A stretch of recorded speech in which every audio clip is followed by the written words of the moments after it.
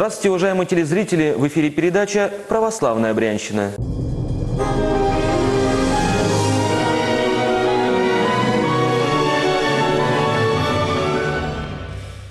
Схимонах Макарий Люльченко – удивительный человек с непростой судьбой. Людей, знавших старца, поражало его величие духа, доброта и любовь. На Брянщине этот подвижник веры особо почитаем. Старец, будучи пораженный телесным недугом, в 1996 году вернул возрождаемый из руин Карачевский Никола Одрин женский монастырь чудотворную икону с порученца грешных. Сейчас она является главной святыней древней обители. В память о схимонахе Макарии в день его небесного покровителя, преподобного Макария Великого Египетского в Карачеве состоялся творческий вечер. Чтоб Одрина вернулась благодать и монастырь расцвел чтобы люди приезжали и пред спорушницей не уставали молиться ей о помощи Твоей.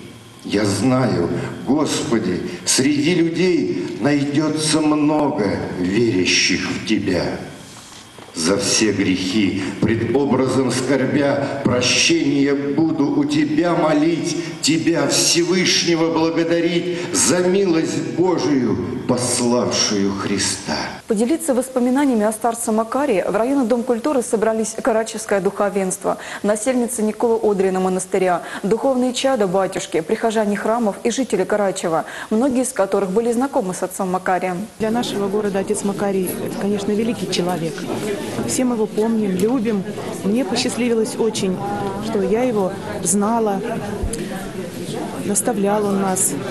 Даже очень радостно было видеть, что старые фотографии, когда мы еще с моей подругой Светланой, обнявши батюшку, вот так вот так получилось. Все мы, конечно, счастливы очень, глубоко, что мы его знали. В храме познакомились всех святых на Слободе, он из Карачевской. Он как бы помогал мне, да, в том плане, чтобы в духовном возрастать. Вот эта любовь была. Сразу понятно, что надо было начинать с любви, с любви, вот ближнему своему. Вот, вот, вот этому. Э, и много потом он называл нас канареечками, всех, хор наш. Вот, канареечки, девочки, благословлял всегда вот головы. Такая рука теплая, хорошая, такая массивная, она натруженная такая рука была. Настоятель Карачевского храма во имя святителя Николая и игумен Тимофей до принятия священного сана работал директором школы. Встреча с будущим старцем, тогда это был еще мирянин Петр Алексеевич Люльченко, имела для него во многом определяющее значение. Э, Петру Алексеевичу тогда шла верница людей. Один, второй, пятый, десятый. Все со своими просьбами. Наклонялись э, к нему, он же был вот на колясочке. Он их очень терпеливо выслушивал. Что он говорил, мне это, э, я этого не мог этого знать. Вот так. А занимался очень часто поделками был э, древоделом, столяром и плотником. Помогал э, делать э, рамки на иконы, киоты. А голос у него был очень приятный. Читал апостол, э, принимал участие в богослужении. Вот. И можно сказать, что я от него получил путевку на духовное поприще. Схимонах Макарий в миру Петр Алексеевич Люльченко родился в 1927 году в Киевской области в благочестивой крестьянской семье. В 7 лет ребенок остался без отца. Алексей Поликарпович скончался после продолжительной болезни. В семье было четверо детей. Жили бедно. У Пети не было ни обуви, ни лишней одежды. В школе его прозвали «Богомольный». С детства мать научила Петра многим молитвам. Петя учился хорошо, особенно любил русский язык и литературу. В 1944 в неполных 17 лет ушел на фронт. В Великую Отечественную войну Петр Люльченко служил в артиллерийском дивизионе. Вернувшись с фронта, работал плотником и столером, занимался резьбой по дереву. В 1959 году женился. Однажды с ним случился несчастье. Упал с лесов при установлении Брянского завода «Дармаш», и ноги оказались парализованы. С тех пор передвигался с помощью дощечки на колесах. После смерти жены в начале 90-х отправился в Оптину пустынь, где в 1993 году принял монашеский постриг. Были близко с ним очень связаны, но Вот очень три года, ровно три года, с 90 по 93 год, когда он принял постриг, мне приходилось, он жил, мы жили в одной келье, считайте, вот. Но он в келье не жил, выбрал себе такой маленький такой закуточек, я ему сделал, тогда я был помощником эконома, была возможность такое, и он сам себе устроил там это, и приходилось только удивляться, восхищаться э, таким человеком, его подвигом в жизни. Никогда он на кровати не спал. Вот. Всегда вот, был в труде, никогда не был праздным. Если он кончил переплетать книги, то он начал сети плеть там, писал стихи, писал синодики, записочки там у него были, писал, отвечал на письма, вот, а ночью, конечно, делал вот эти поклоны. Вот. И мы это слышали, когда вот, ночью иногда человек встает по нужде и слышит, как лязгают его эти вериги. Вот, конечно, все это было для нас необычным в то время, когда, потому что Оптина только начинала возрождаться, и мы только слышали о подвижниках, но воочию редко кого было увидеть. Вот, ну вот так вот в лице нашего Макария, старца Макария, и мне посчастливилось жить вот таким подвижником. Схемонах Макарий также был первым насильником только открывшегося Карачевского Никола Одрина монастыря и помощником назначенной сюда настоятельницы, игумени Мариам Шагаровой. И как мы уже говорили в начале передачи, его трудами была возвращена святую обитель чудотворная икона с поручницей грешных. На вечере памяти схемонаха Макария был представлен фильм о нем «Молитвенник», созданный в 2017 году. На вопрос пытливого корреспондента «Как же вы ее довезли?» Смиренно отвечал «Это не я ее вез, это она меня везла» своим ходом, а где э, поездом, вот, где на, это, просил на попутных. Всякого приходилось, э, потому что путь не из легких был. Вывоз иконы осложнялся государственными отношениями России и Украины. И эти хлопоты отец Макарий взял на себя. А как же иначе? Если цель ясна и вера крепка, все возможно. 24 ноября 1996 года споручница грешных заняла свое привычное место в стенах Одринского монастыря. И теперь каждый может прийти к ней, поклониться. И если подойдешь к лику Богородицы с чистым сердцем, истинной верой и искренним желанием избавиться от порока или болезни, все исполнится. Схемонах Макарий в это верил свято – с этой верой и совершил он свой подвиг. Мы чувствуем защиту и святость в нашем монастыре. Ну, как бы живая с нами, Матерь Божия.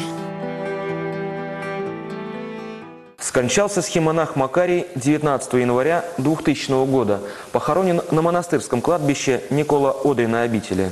В крещенскую ночь 2000 года омывшись в источнике у храма Михаила Архангела и помолившись с прихожанами, схемонах Макарий отошел к Господу. Отошел, как жил, смиренно и достойно. Совпадение кончины с праздником Крещения стало знамением особой милости и любви Господа к подвижнику нашего времени.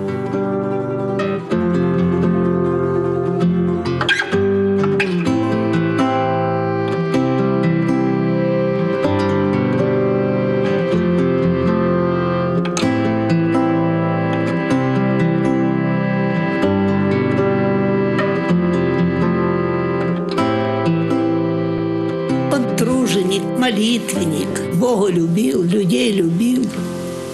Что еще надо? Кто Бога любит, то и всех будет любить. В 2017 году была издана и книга о старце «Молитвенник земли русской». В ней собраны поучения схемонаха Макария и воспоминания о нем. Книга издана по инициативе духовной дочери старца Анны Петровны Шашковой. Вот 18 лет на протяжении этого времени мы собираем материал. Э, И с Божьей помощью вот эта книга вышла. И с вашей помощью, тех, кто оставил эти воспоминания, кто помогал э, в выпуске этой книги. Будем продолжать сбор материала, потому что кто-то знает что-то новое о жизни батюшки, но просим оставлять в храмах церковных свои воспоминания. Схемонах Макарий запомнился многим как человек сильной воли и мужественного характера. Он не только не унывал от своего телесного недуга, а наоборот, своим твердым упованием на Бога духовно укреплял людей. И когда я уходила, у него там такой тазик стоял, или коробка, я уже не помню, такая большая, и была наполнена она полностью крестиками. Он сам делал крестики металлические, и вот все, все это, вот тазик был с этими крестиками. И он ну, смеется, набирает вот так, берет две руки, горсть вот так набирает двумя руками, руки большие, такие вот натруженные, набирает, прямо сверху этих крестиков в тазик. И на меня смотрит, смеется и говорит, твоим, в общем, бери твоим питомцем. А я тогда посмотрела, думаю, каким питомцем? Я же в это время работала в четвертой школе педагогом-психологом в советском учреждении. И в воскресной школе я еще не работала. Я думаю, каким питомцем? Как я, что я буду школьникам крестики раздавать? Сейчас, конечно, мне понятно, что это был бы хороший подарок для моих питомцев, для моих воспитанников, учителей, для учеников, их родителей. Но, к сожалению, я взяла маленькую горсточку из из его вот этой вот, ну, свою, да не не горсточку, взяла щепоточку маленькую из его вот этой вот горсти. Вечер памяти сопровождался концертной программой, организованной студией православной песни «Стезя». Поэты, певцы и музыканты исполнили произведения собственного сочинения и на стихи схемонаха Макария. Вседетая Матерь, даруй нам свет обрести. О, Всепетая в скорби меня укрепи. Гостем вечера стала автор-исполнитель из города Орла Мария Молотова. Крестясь сидеть на мешке с деньгой, Взывая к милости Господа, И возвращаясь с пиров домой, Молить, чтоб не было голода. Нельзя служить сразу службы две, Прелестной жизни Господу, Украсив образом стены все, Роптать каждому поводу. Участник известного на Брянщине ансамбля «Бабкины внуки», гармонист-виртуоз Дмитрий Панаскин и певица Галина Поцелуева исполнили народные песни. Ничего не надо грешну человеку, ни злата, ни серебра, ни ни серебра, ни золотого деяния, ни злата, ни серебра, ни золотого одеяния. как апостол Павел нам говорит, упоминая своих наших отцов, наставников, мы должны подражать вере их. И отец Макарий, он своей веры не стыдился, он ее всем